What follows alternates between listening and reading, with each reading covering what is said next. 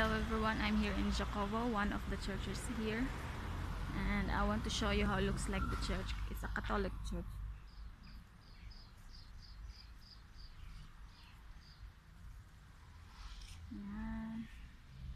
And over there is the entrance. Yan po ang ating entrance ng church. Okay.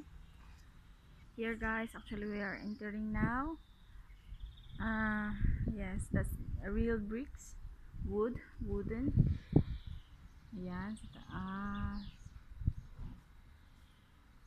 Sa baba. Wow. And we're here. Where is the entrance of the church? Small park over here. Yan. And there's the church.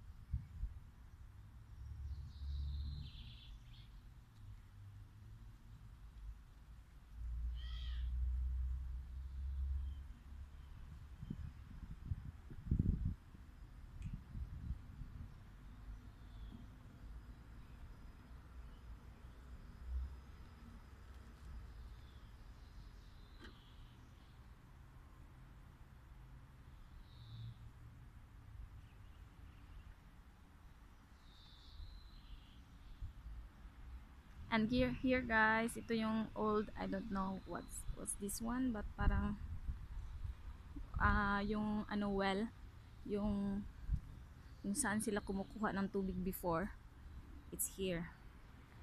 Like that. Wow.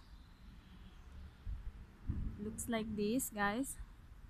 Diyan sila kumukuha ng tubig before, diyan sa ilalim. Ilalim diyan. So, and this is looks like the mini park here. With the bench, with some cottages, uh, with tables inside. At saka small lake. Here is the small lake. Ang ganda mag-picnic dito guys, no? Sarap-sarap mag-picnic dun sa ilalim ng puno guys. And at, the back of that, there's a children, ano. Wow, what at the, what, ano, ano, ano to? Lumot guys. Ang daming lumot, oh. Kita nyo yan, guys? Wow, ang daming lumot.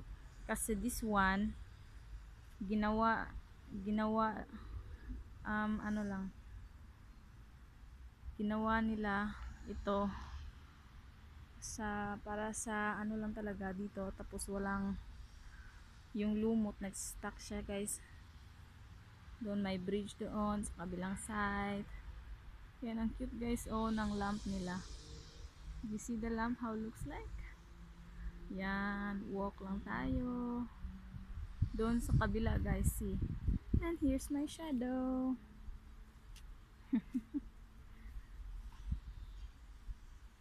okay, it's good. Yan, doon. Nakikita nyo guys, doon. There's more na second side at saka may parking na doon. So, that's how it looks like. Yung bridge.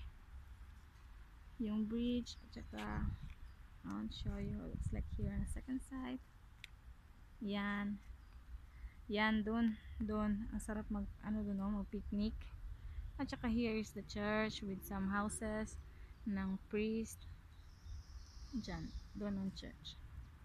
Yan. So, and this is how looks like the small cottages here. Dito yung entrance. Ang ganda niya guys no? If meron lang ganyan sa Philippines. Sa every park. Mga park natin. Okay